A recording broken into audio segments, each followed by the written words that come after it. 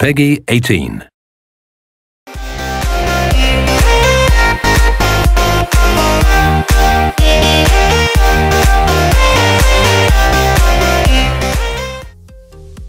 Người ta vẫn cứ nói nghề chơi game lắm công phu quả cấm có sai và điều đó lại càng đã bị đúng với việc chơi game trên PC. Mỗi năm khi mặt bằng chung đồ họa của làng game ngày một tăng thì game thủ cũng phải vắt chân lên cổ chạy đua với những phần cứng đem đến hiệu năng cao hơn. Nhưng bạn hãy thử nghĩ lại xem, đâu phải bất cứ game thủ nào cũng nhà mặt phố bối lòng quan to để có thể bám trụ một cuộc đua mà chẳng bao giờ có dấu hiệu kết thúc như thế này. Và kết quả là nhiều game thủ đang rớt lại với chiếc máy tính đời cũ của mình. Tuy nhiên đến với Top Game thì mọi chuyện sẽ hoàn toàn khác. Mình không hứa sẽ mang đến cho các bạn những tựa game mới nhất, nhưng mình chắc chắn sẽ dâng tận miệng các bạn những tựa game vừa hay vừa sát phần cứng máy tính nhất. Chào mừng các bạn đã quay trở lại với Talking Channel. Trong video này hãy cùng mình tìm hiểu top 6 game hay lại còn đẹp không thể chối cãi cho PC có hình thấp.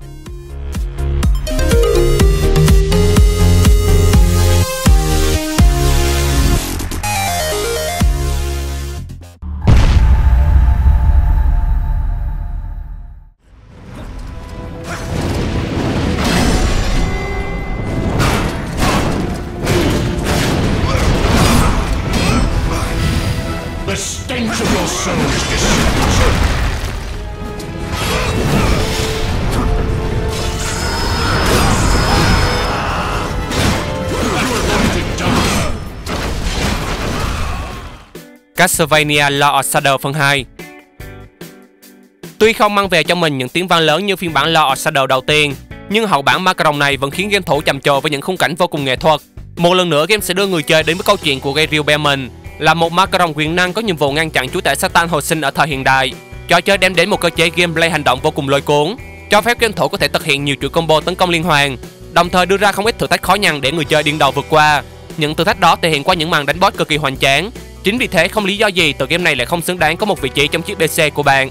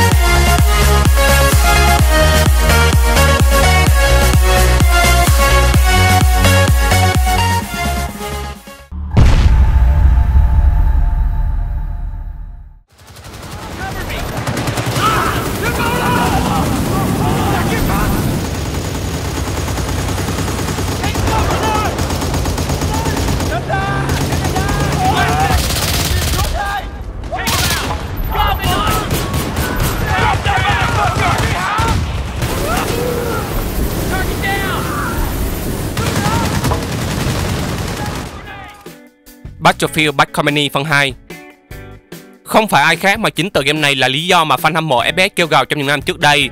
Họ yêu cầu bắt buộc đài phải thực hiện phiên bản thứ ba của series đình đám này. Trên thực tế, tựa game này chính là cột mốc đánh dấu cho sự chuyển biến về mặt đồ họa của Battlefield, là một bước đệm vững chắc cho tuyệt phẩm Battlefield 3 đi vào lịch sử như ngày hôm nay. Đồ họa của game vô cùng sắc nét kết hợp với hệ thống âm thanh chất lượng cao, cùng với yếu tố đặc sản của dòng game này là môi trường có thể bị phá hủy một cách tự do. Game đã rất thành công trong việc đem đến những trường đoạn cao trào kịch tính, giúp game thủ hiểu rõ hơn về thứ được gọi là sự thật trong chiến tranh, về sự mong manh giữa ranh giới thiện ác. Thắng làm vua còn thua tất nhiên phải làm giặc. Đó thực sự là một cuộc phiêu lưu thú vị, một bài học sâu sắc về tình người trong chiến tranh. Hope is just a way to fool the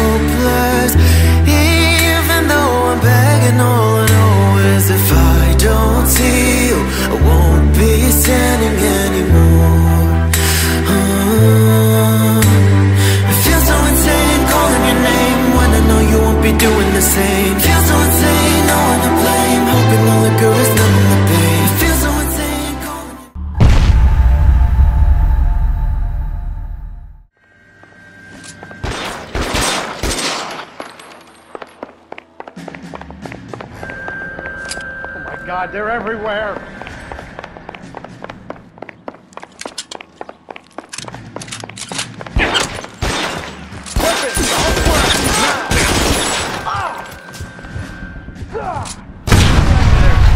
There's a ladder leading to the ground. LA nói Có thể khẳng định đây là tựa game hay và ấn tượng nhưng cũng kén người chơi bậc nhất làng game hiện nay. Đơn giản vì lời thoại lẫn câu chuyện trong game đều vô cùng phức tạp. Là tựa game thế giới mở tập trung mạnh vào mảng điều tra phá án. Đây cũng là cái tên đầu tiên thực hiện 100% bắt chuyển động gương mặt cho nhân vật.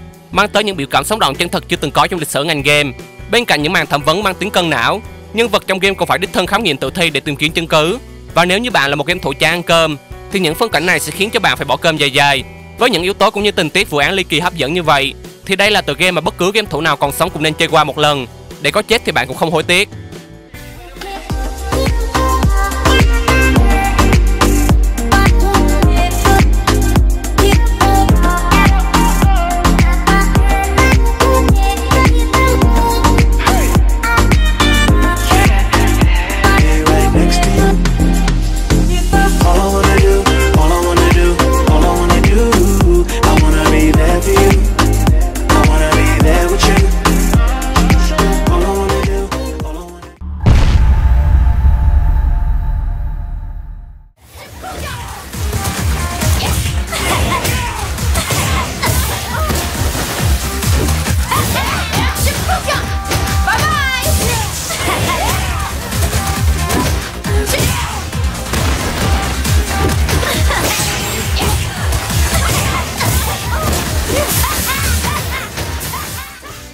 Ultra Street Fighter 4 Trước khi những vụ lùm xùm với Street Fighter 5 xảy ra, thì tựa game này được đánh giá là đỉnh cao của dòng game đối kháng huyền thoại thời ấy.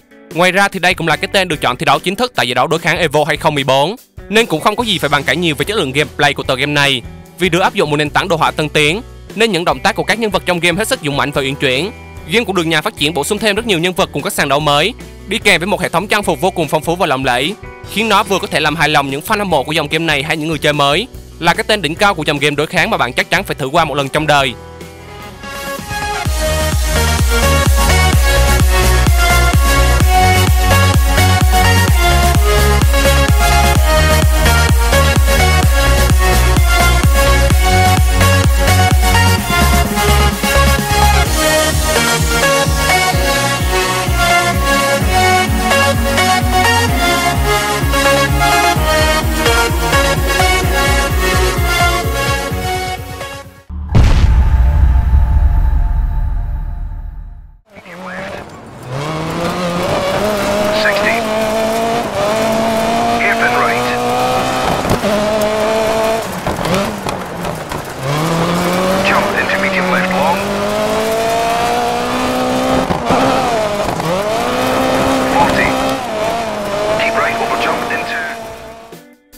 Dead 3 Nói đến game hay mà đồ họa đẹp thì chúng ta không thể bỏ qua tựa game này.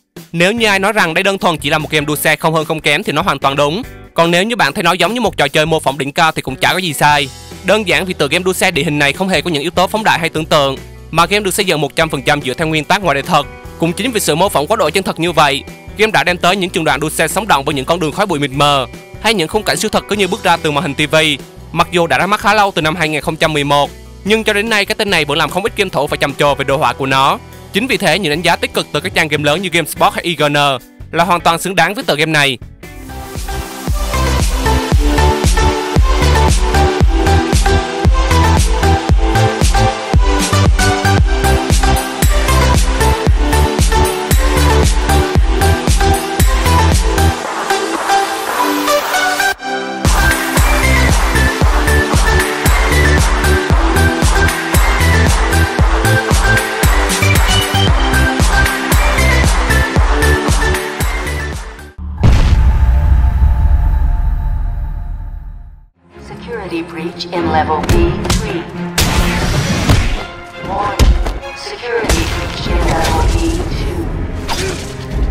Warning. Security breach in level B3.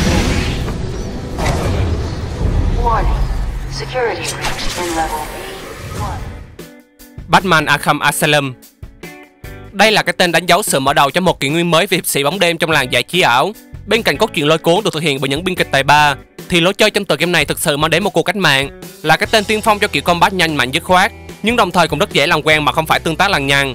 Và nếu so với công nghệ thời bấy giờ thì đây thực sự là một điểm đột phá. Cái hay của nó là bạn có thể tự do combat nhưng lại rất khó khăn trong việc truy lùng kẻ thù, khiến người chơi cảm thấy họ thực sự phải dùng hết trí tuệ, khả năng suy luận, phản xạ cá nhân để chật vật vượt qua từng màn chơi trong game. Có thể nói cả cốt truyện lẫn gameplay của tựa game này quá tuyệt vời. Và dù có phải mất bao nhiêu thời gian để phiêu lưu trong game, thì nó cũng hoàn toàn xứng đáng với tuyệt phẩm hay nhất năm 2010 này.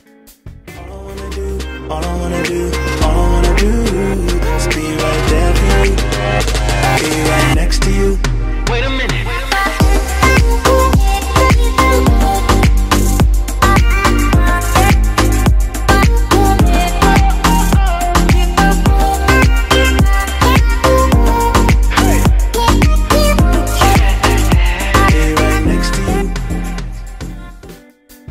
Bạn đánh giá như thế nào về 6 tựa game này? Hãy cho mình biết ý kiến bằng cách comment bình luận của bạn bên dưới video này. Nhớ like, share và subscribe để ủng hộ token Channel và cập nhật những thông tin game và công nghệ thú vị mỗi tuần. Xin chào và hẹn gặp lại các bạn trong những video lần sau.